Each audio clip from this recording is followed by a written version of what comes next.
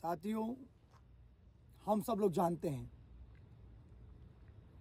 कि सन 19 में आज ही के दिन हमारे चौवालीस फौजी भाई पुलवामा अटैक में शहीद हुए थे। मालिक उनकी आत्मा को शांति दें, उनके परिवार को ताकत दें और मैं आप सभी से एक ही प्रार्थना करूँगा कि हम सब लोग हमारे फौजी भाई को श्रद्धांजलि देंगे और दो मिनट का मौन रखेंगे। और यही सोचेंगे और यही प्रार्थना करेंगे परमात्मा से कि यह परमात्मा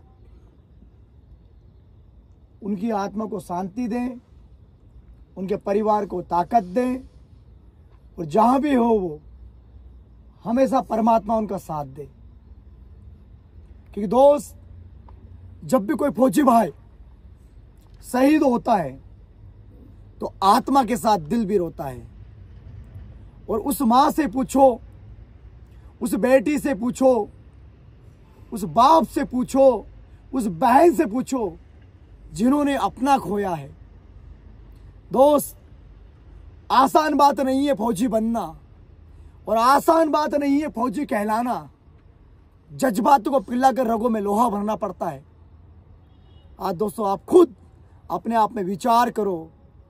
उस माँ से पूछो, जिन्होंने कितना पालन पोषण करा, नौ महीने पेट में रखा, आज इतना बड़ा करा, आज ये चार बजे दोस्त सुबह चार बजे उठकर आए हैं, प्रतिदिन मेहनत करते हैं, और एक ही लक्ष्य है कि मैं रहूँ या ना रहूँ, मेरा भारत देश रहना चाहिए।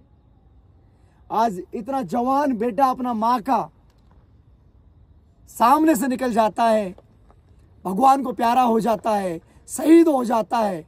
तो उस माँ से पूछो, दोस्त, कितना बुरा लगता है? उस बेटी से पूछो, वो किसको पापा बोलेगी? उस धर्म पत्नी से पूछो, उस पत्नी से पूछो, जिनकी शादी को केवल दो महीने हुए, तीन महीने हुए, और अपना सुहाग चले जाता है। तो दोस्त, आसान बात नहीं है फौजी बनना। आसान बात नहीं है फौजी कहलाना। जज्बातों को पिल्ला कर रगों में लोहा भरना पड़ता है। कि आओ झुककर सलाम करें उनको। कि आओ झुककर सलाम करें उनको, जिनके हिस्से में मुकाम आता है और खुश नसीब होते हैं भोजी भाई, जिनका लहू देश के काम आता है। मैं आज दोस्तों इस शायरी का बोलना चाहूँगा, ये दोस्त केवल शायरी है। उस माँ के दिल पर हाथ रख के पूछो, उस बेटी से पूछो कि तुम्हारा पापा जी शहीद हो गए हैं। दोस्त हमेशा वो बेटी इंतज़ार करेंगे कि मेरा पापा आएँगे। वो माँ हमेशा इंतज़ार करेगी कि मेरा बेटा हाँ बस अब आने वाला है, कि कभी तो मेरा राम आएँगे। दोस्त आसान बात नहीं है।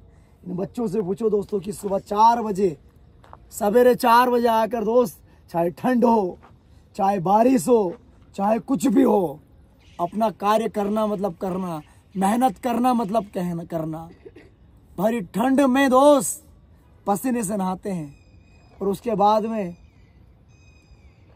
ये देख रहे हैं आप, जो पुलवामा अटैक हुआ था, निंदनीय दोस्त। उस बेटी से पूछो दोस्त, आज मेरे यहाँ बेटी है दोस्त किस तरह इंतज़ार करती है कि पापा आएँगे ट्रेनिंग पूरी कंप्लीट करवा के, ये लेके आएँगे, वो लेके आएँगे। दोस्त, आप ही जानते हो।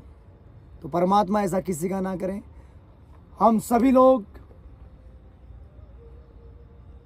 दो मिनट का मौन रखेंगे और श्रद्धांजलि देंगे। परे